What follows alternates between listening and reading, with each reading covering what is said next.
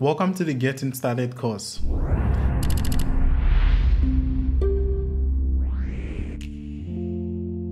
In this video, we'll take a look at using the GitHub repository that is a part of the resources for this course.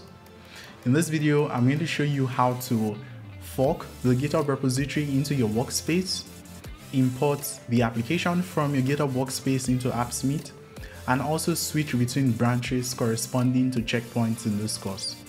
You're going to find a link to the course GitHub repository homepage in the video description. Once you have that opened up, you'll be taken to the course repo homepage and you can actually go ahead to fork this repository by hitting the fork button. You want to ensure that the repository name is good to go and uncheck the box so that you can copy all branches including other checkpoints. Then create a fork by hitting the create fork button. And now a copy of the course repository is in your GitHub account. You can take a look at the branches and you'll notice you not only have the master branch, but other branches corresponding to checkpoints in this course. Now, to have this course imported into your Appsmith workspace, you want to go on to copy the SSH URL of your repository. You don't have to worry about setting up SSH because this is going to be handled by Appsmith. So go on to copy the SSH URL and then head over to Appsmith so that it can be imported. Under your workspace settings, go on to click the import button and you want to select the import from Git option. Go on to paste in the SSH URL you copied over from GitHub and then generate an SSH key to be used to authenticate Appsmith when deploying to GitHub. So go on to copy the generated SSH key and back in GitHub, you want to go into your repository settings. Look for the option that says deploy keys and you want to go on to create a new deploy key. You have to give this key a name, for instance, Appsmith deploy key, and then you paste in the key contents into the next input.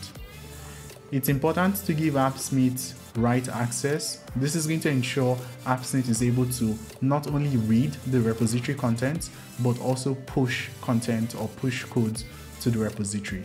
Then go on to click on the add key button. Alright, and now we have that key added. Heading back into Appsmith, now you can click on the import button and as you can see, we have the application imported into our Appsmith workspace from the GitHub repository. Now something interesting you'll notice is that we have all of those same branches you saw on GitHub within Appsmith. So you can switch to a future checkpoint so that you can take a look at both the widgets and also the JavaScript code written at that point to make the app interactive.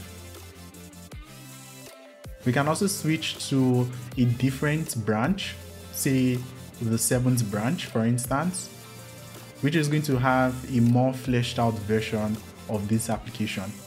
And as you can see, we have more features in this app compared to the previous branch you saw. And this is also going to include the code samples and the logic written to make the app interactive. We can head back to the master branch, which has the completed code. And this is going to have everything you need in one place.